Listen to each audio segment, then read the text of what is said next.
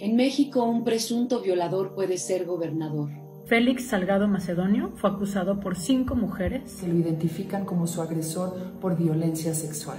Aún así, Morena piensa ratificarlo como precandidato a gobernador por el estado de Guerrero. Busca nombrarlo a pesar de que las investigaciones de estas graves acusaciones continúan. Argumentan que no hay sentencia en su contra y que eso le concede íntegros sus derechos electorales. Pero los casos siguen abiertos y las investigaciones pendientes. De convertirse en gobernador tendría inmunidad constitucional o fuero. Y los procesos penales en su contra quedarían suspendidos.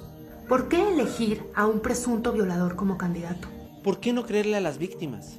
Escuchemos lo que cinco mujeres distintas han señalado y denunciado desde hace varios años. Félix Salgado Macedonio salió como si fuera otra persona. Se vino hacia mí sin decirme nada.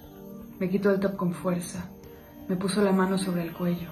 Me violó y con los pantalones abajo y todo sudoroso buscó su cartera. Sacó 100 pesos y me los aventó en la cara como si fuera basura.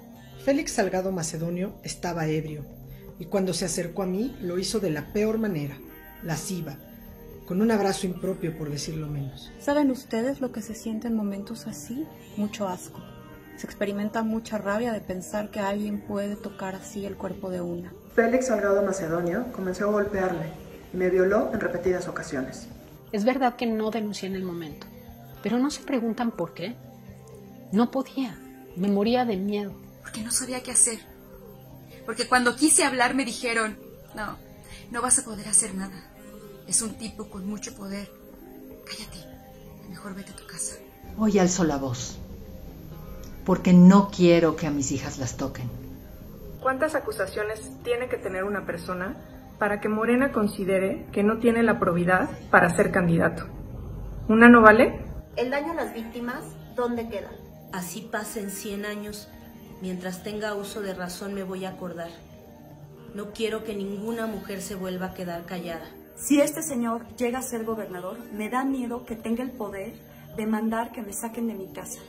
No quiero ser una desaparecida más de las que nadie supo qué pasó con ellas. En Guerrero viven casi dos millones de mujeres y niñas. Entonces piénsalo así. Un tipo acusado de violación por distintas mujeres a lo largo de los años podría ser el gobernador de tu estado. ¿Quieres que tu estado quede en manos de un presunto violador? ¿Con tu voto quieres darle fuero a un presunto violador para que no pueda ser investigado?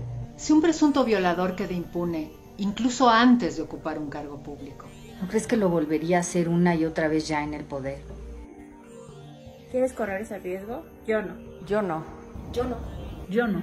Yo no. Yo no. Yo no. Yo le creo a las víctimas. Exigimos a Morena que retire la precandidatura de Félix Salgado Macedonio